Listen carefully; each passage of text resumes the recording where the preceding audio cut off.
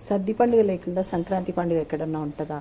ఇదిగోండి పులావు పొద్దున్నే లేచి పండుగ తెల్ల బగారా అన్నము కోడి కూర దాని జతన ఉల్లిగడ్డలు నిమ్మకాయ నిమ్మకాయ రసం పిండుకొని తింటే మజానే వేరు. బగారా పప్పుచారు పెరుగు లాస్ట్